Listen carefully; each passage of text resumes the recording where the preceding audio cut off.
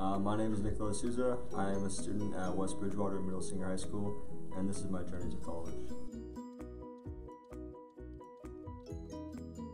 I started thinking that I'd want to attend college ever since I was younger. My parents basically laid out for me. Said I could do whatever I wanted to do, but I think continuing my education is where I wanted to go.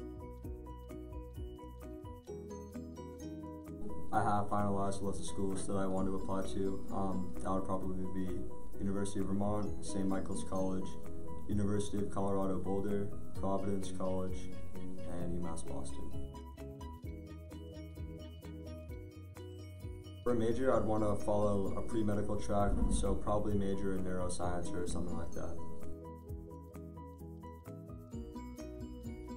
Some characteristics that made certain schools more um, appealing than others would probably just be like research facilities, um, size of the classroom, um, and just other facets of the classroom that are more technologically advanced than compared to other schools. Applying early action to University of Vermont and regular decision for the rest of the colleges. For applications, my uh, my school really prepared me for the essay portion of the Common App because I did at the end of my junior year of high school. As for the application, I worked on it over the summer, and as of right now, I finished with it. And my parents and I recently completed and submitted the FAFSA form. For my parents, it was a little bit um, a little bit trickier, but when we sort of got together and collaborated on it, a little made it a little bit easier for the both of us. For scholarships for school, um, I'll be wanting to do the merit scholarships available to me. But then, uh, in addition to that, for my top choice, uh, University of Vermont, there is a volunteering and leadership uh, scholarship that I'm also trying to apply for. It's the Simmons Family Scholarship, and that would be the big scholarship.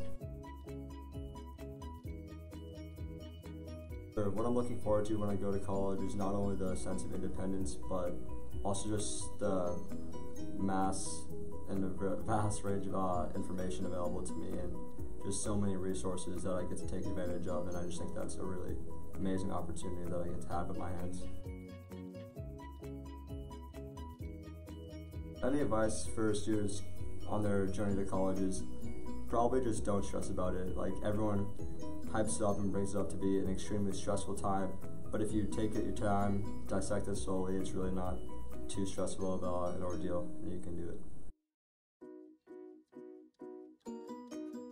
Uh, using MEFA Pathways, I thought it was a really great tool just because it gave such a great deal of information about each individual college that I was looking at that it helped me to really sort out colleges that I wanted to go to and didn't want to go to without having to go and tour them if they were far away.